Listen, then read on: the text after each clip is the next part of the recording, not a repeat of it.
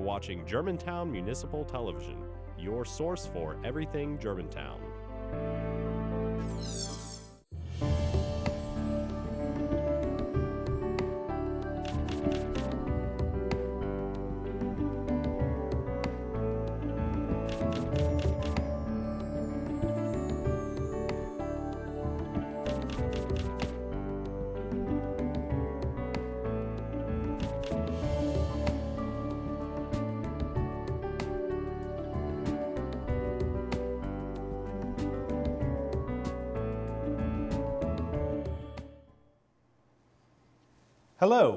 Welcome to GMSD's Spotlight on Excellence.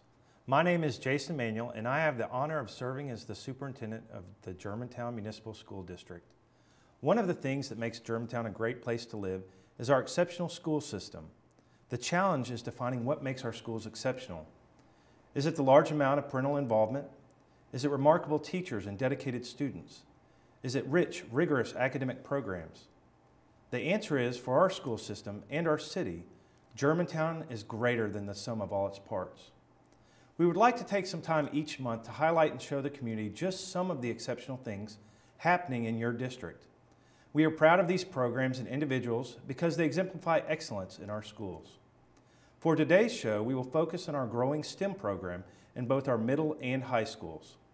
STEM is an academic program focused on science, technology, engineering, and mathematics, STEM. Our STEM classes bring these elements together in a cross-curricular, hands-on learning environment. This program really gives our students a chance to apply science and engineering principles to solve real-world problems. In this environment, they can also use the skills they learn in other disciplines, combined with higher order thinking skills to create something with real-world applications. Today, I have invited Missy Renshaw, our 6th through 12th Curriculum Instructional Coordinator and STEM Supervisor for the district.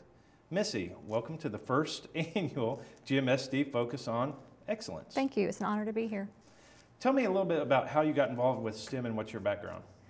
My background started actually when I was a kid. I, actually, I loved STEM before it was called STEM. Um, I would take things apart, radio, um, those little electronic games, and, and I just knew I had a passion for that sort of learning. And a lot of kids come to us with that sort of passion just to uh, be inquisitive. Uh, and then in German, at Germantown High School, which is where I actually went, I majored, uh, took computer programming for three years, and that's what set me on the course in college to uh, pursue a computer science degree.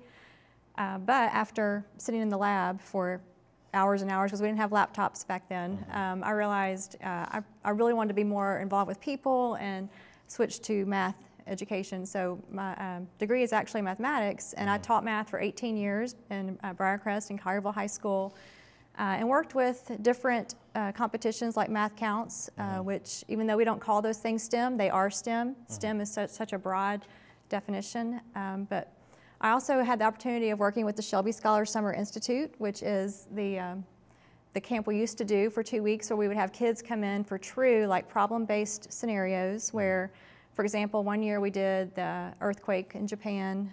Um, how would we go in and rebuild? How would we restore? Um, we gave them challenges and missions they had to complete.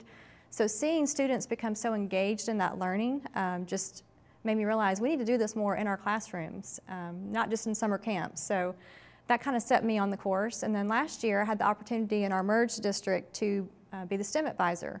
And that was through the Career and Technical Education Department. And I uh, had the opportunity of going in at 39 schools, middle schools and high schools, with all levels of STEM programs. Um, learned a lot about what to do and what not to do, mm-hmm. what works, what doesn't, uh, what all the labs need. Um, so through that experience, I realized um, all, all schools need a STEM program, not just a STEM class, but STEM integrated into the curriculum.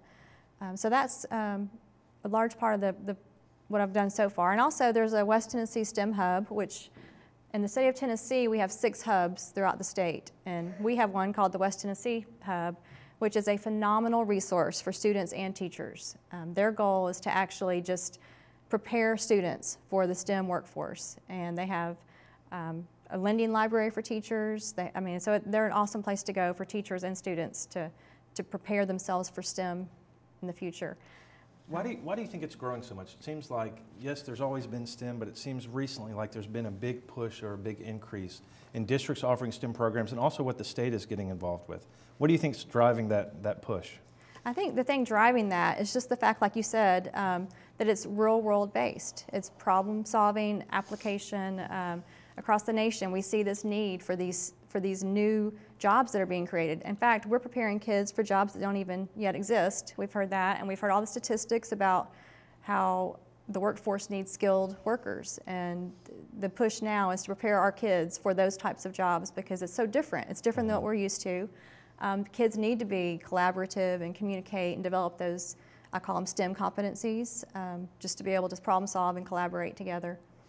Well, how, you mentioned the students, the mm-hmm. kids. How do you think this relates to them? What do you think sparks their interest?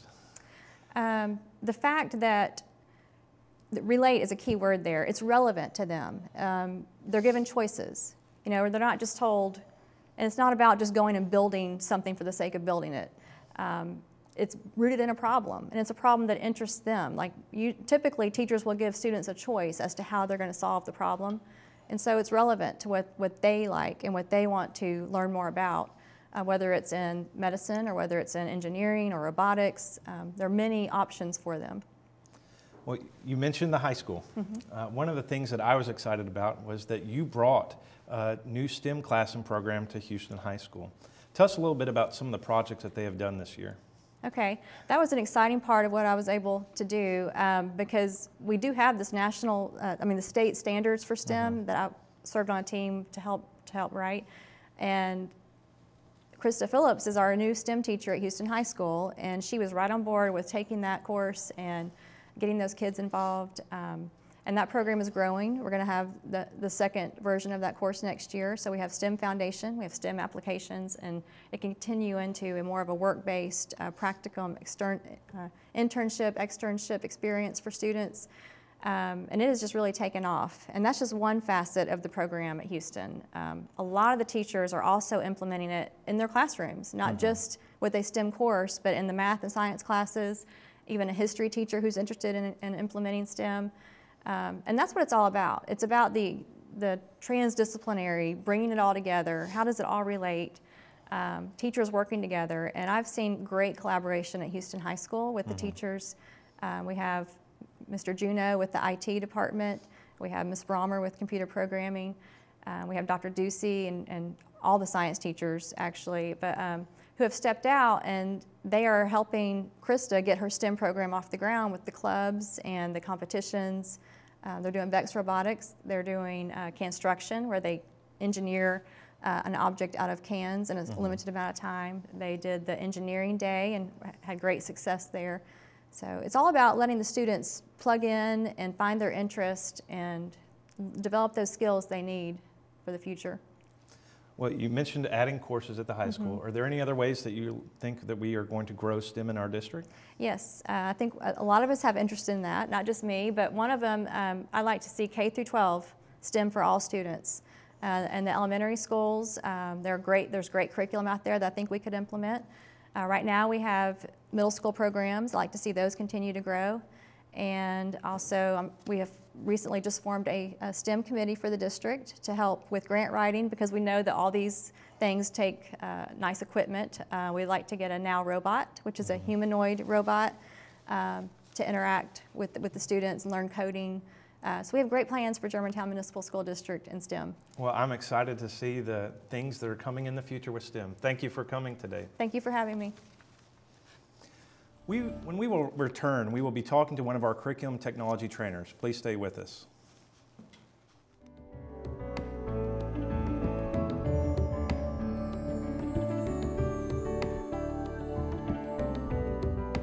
Hello, I'm Germantown Mayor Mike Palazzolo. I want to let you know about something special you'll be seeing in your Germantown water bill this month. In cooperation with the Germantown Education Foundation, the City of Germantown is asking residents to fill the fountain of knowledge. Donations to the Germantown Education Foundation directly support academic programs in the Germantown Municipal School District. To donate, please fill out the form, return it with your water bill. You can make a one-time donation or monthly contribution. For more information, visit www.germantowneducationfoundation.org And thank you for supporting Germantown. Cinderella found the pet that fits her perfectly. Tiana gave her pet the royal treatment. Belle found beauty where no one else did. And you can too. Share your heart. Share your love. Bring home your forever friend. Make a shelter pet part of your world. Happily Ever After begins at theshelterpetproject.org. You are watching Germantown Municipal Television, your source for everything Germantown. Welcome back. I am Superintendent Jason Manuel, and you're watching GMSD's Spotlight on Excellence. Joining us on our show is Chris Cooper, who is the Curriculum Technology Trainer for Riverdale Elementary School and Houston Middle School. Welcome to the show, and thank you for coming, Chris. Great, thanks to be here. Tell us a little bit about what you do in the district. Well, I uh, primarily I'm there to support the, the students and the teachers as they teach with technology. So if teachers want to do a, a particular lesson or unit that uses a lot of technology, I'm there to help them in real time in the classroom, support them as well as in their planning. So if they, as they're planning the lessons, I'm there to help them make sure that they're integrating technology effectively. Um, and just day-to-day tech support as well. So, and, and also do a little bit of uh, professional development after school for the teachers. So you've also gotten involved with STEM. Why do you think STEM is important? Well, you know, uh, earlier Missy indicated, you know, she, she sort of explained the, the cross-curricular importance, and, and I think that that's, that's so important, especially, you know, from my perspective with technology, there's such a strong technology component to STEM, and technology is an ever-increasing skill that, that students need. You know, we talk about 21st century skills, and technology is right there at the top of the list, and uh, almost everything you do with STEM can incorporate technology. So it just lends itself very well to, to those technology skills that we need students to have. So you mentioned skills. How do you think those skills are going to prepare them for the future? Well, you know, it, it's impossible for us to really prepare students for everything they're going to need when they graduate. I mean, we can't predict what they're going to need, especially when it comes to technology and, and how communication is going to develop. Uh, but what we can do is teach them how to problem solve, how to think, um, how to think linearly and, and find their way through a problem. So if we can do that, then no matter what they're faced with when they graduate, they'll be ready. So something exciting in our district. Uh, the STEM programs at Riverdale and at Houston Middle received 3D printers. Tell us a little bit about the 3D printers that they received. So the 3D printers, um, everybody always wants to know about what is a 3D printer and how it works, and I had to learn myself because I was new to 3D printers, and and um, so the 3D printer works a lot like an inkjet printer at home. So we all have inkjet printers, and an inkjet printer works by making little dots on the paper that when you put all those dots together, it makes a word. Well, a 3D printer works a lot the same way.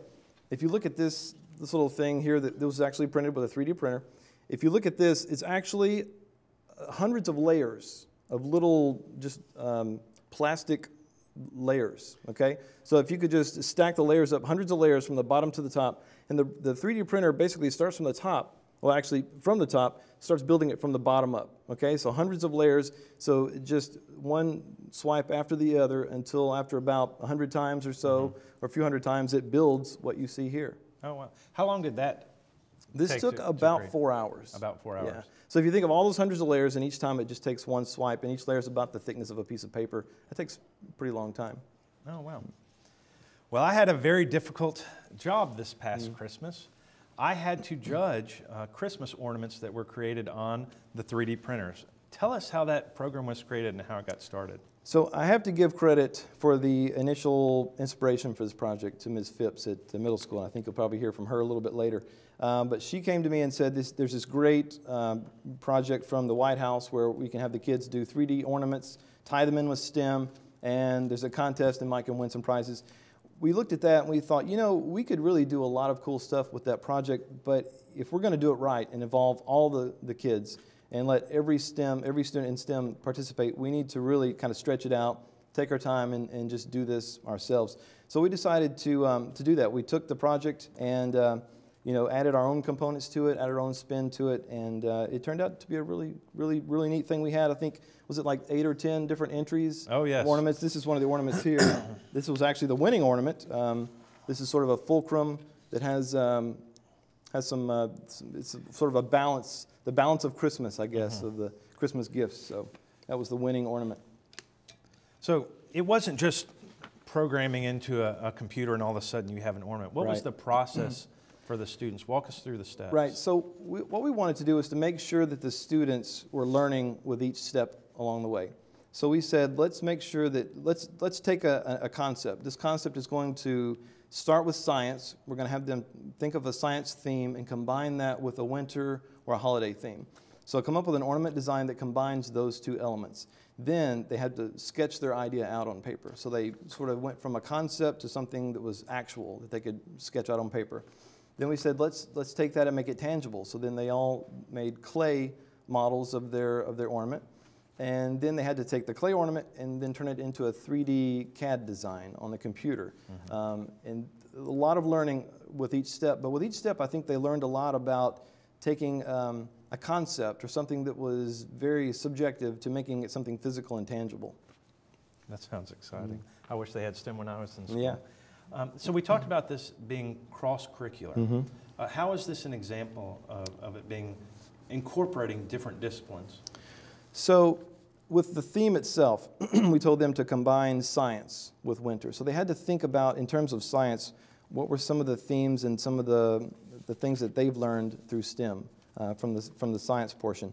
They had to, of course, there was the, you know, the, the technology and the engineering part of it. They had to, to take that concept and make something real, something tangible out of it.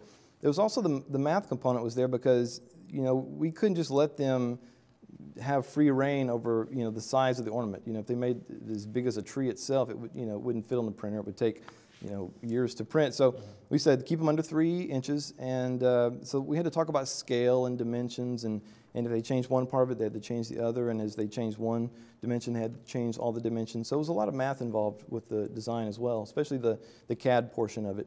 So they're having to apply everything that they've learned in all of their subject areas. Exactly. I mean, it, you know, it was um, it was a good exercise in not just talking about cross curricular, but putting it to action. So, moving to the real world application, not that Christmas ornaments aren't real world. Sure. but how are 3D printers being used in real fields? So 3D printers, uh, you're right. This is really cool that they can do this, but we, we need to get the kids thinking more in terms of real life applications. Um, 3D printers are used right now with a lot of people in the maker field, a lot of inventors, people who, um, who want to build things and come up with new designs. Um, let's say you were an auto in, an autom- automotive, automotive engineer. Um, and let's say you wanted to construct a, a distributor cap for your car or for a new, a new design. You could do that on a CAD program and print it out on a 3D printer um, within a few hours. So you could design new parts for something. Um, also in the medical field, uh, if you, you know, prosthetics and artificial limbs, right now it's a, there's a big push to use 3D printers to help kids who are missing limbs, fingers or arms. And um, you know, it's interesting, one in every 1,000 babies are born missing one or more fingers. Um, in fact, the New York Times just published an article this past week about a, uh, a, kid named Dawson, 5 years old, um, and he was actually given a prosthetic limb from a 3D printer, something he probably couldn't have done without that. Oh, Chris, th- I, I can't wait to see what the next step are in our programs with the 3D printers. But thank you for coming out today. Thank you. And spending time with us. Enjoyed it. Thank you. When we return from our break, we will talk with one of our STEM teachers from Houston Middle School. Please stay with us.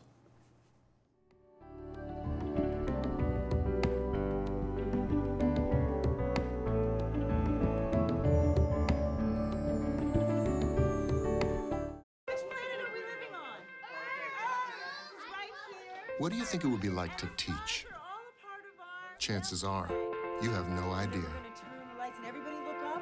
Teachers today are breaking down obstacles, finding innovative ways to instill old lessons, proving that greatness can be found in everyday places, and that you don't need to be famous to be unforgettable. That's what it's like to teach.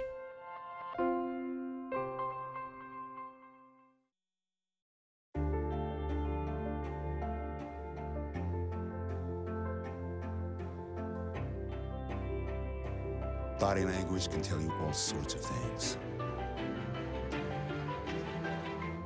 Like someone is having a stroke. Know the sudden signs. Learn fast. Face drooping, arm weakness, speech difficulty. Time to call 911 and get them to a hospital immediately. Learn the body language and spot a stroke fast. You are watching Germantown Municipal Television, your source for everything Germantown. Welcome back with us. Now is Joye Phipps from Houston Middle School, and we are talking about the STEM program. Thank you, Ms. Phipps, for being here. Hi, thank you. Tell us a little bit about your background. Well, my background is with Houston Middle School. From when I left um, University of Memphis, I've only taught at Houston Middle for 13 years now.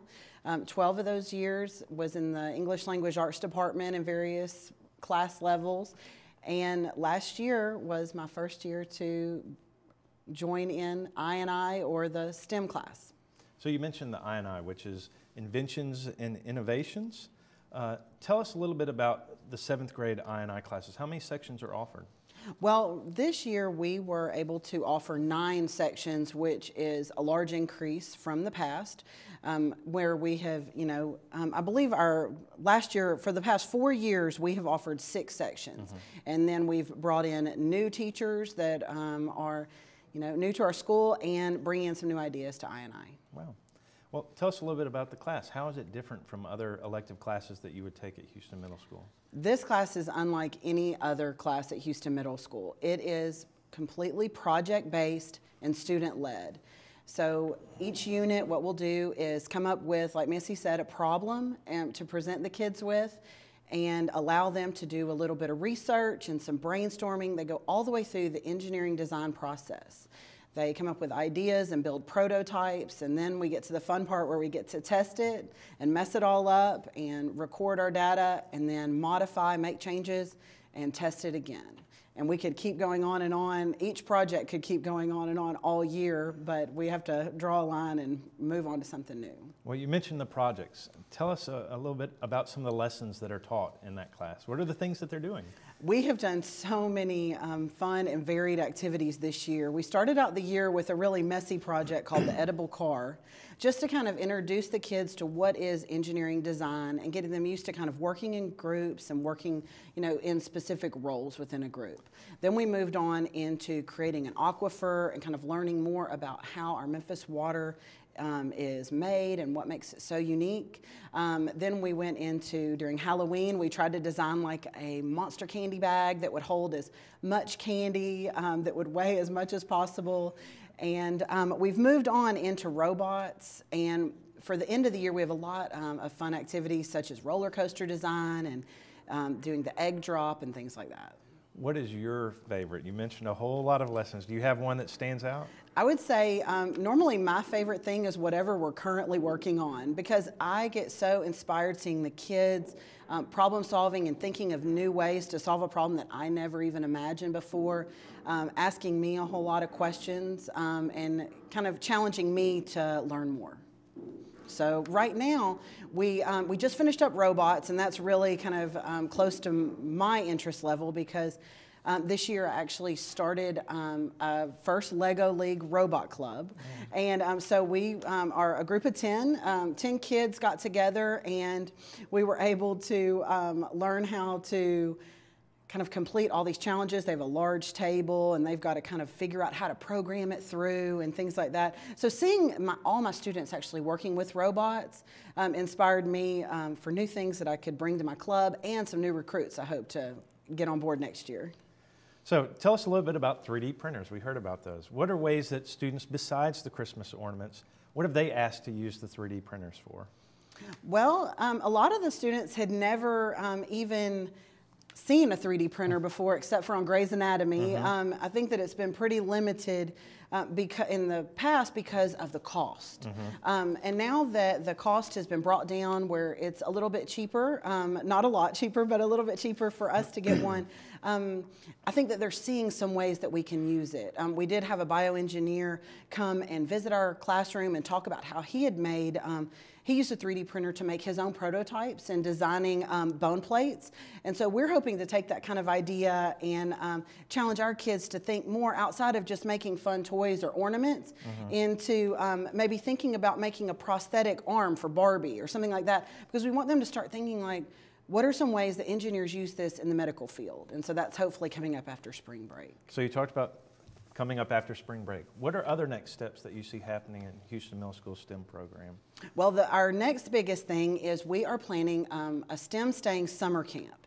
And what we're hoping to do is um, get kids from GMSD all the way from our incoming sixth graders to our outgoing eighth graders to come to Houston this summer for a week and um, just kind of really delve into some STEM things. Our, um, our whole theme is going to be Watch Out Mars, Here We Come. So we're going to deal with Mars rovers, we're going to deal with um, rockets and rocket design with our 3D printers. We're going to hopefully take a field trip to Huntsville to see the um, U.S. Space and Rocket um, team, and I'd love to even uh, maybe Skype with an astronaut. Um, I wanted to take just a second to, to ask any Houston High STEM, um, STEM student if they're interested in coming over and maybe getting, you know, a few um, volunteer hours or helping out or just joining in, they're definitely welcome.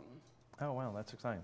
Do you think there are opportunities for uh, citizens who may be retired from the science field or math field to interact with you at Houston Middle School? What ways do you think we could plug in people from the community? Oh, STEM? I would invite anyone who has a STEM career to contact me because we have already had so many wonderful speakers come in from the Shelby County Sheriff's Department, brought in their um, bomb, uh, bomb squad and how they use robots. Like I said, we've had a bioengineer from Pfizer come in. Um, I've been contacted by um, one of my students' mothers who um, is like an electrical engineer working um, with wheelchairs. I mean, the thing that my students are so fascinated with is that engineering is everywhere. It's not just people who build bridges, it's, it's everywhere. So we talked about the Christmas ornament program. Did you have students who made Christmas ornaments? Yes, and I had a bunch of students, everyone wanted them printed.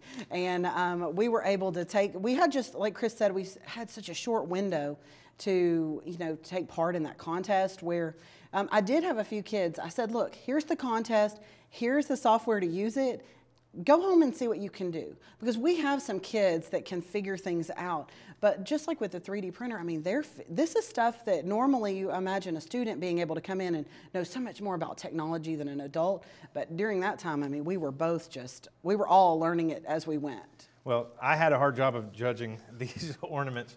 Were there some that stood out for you?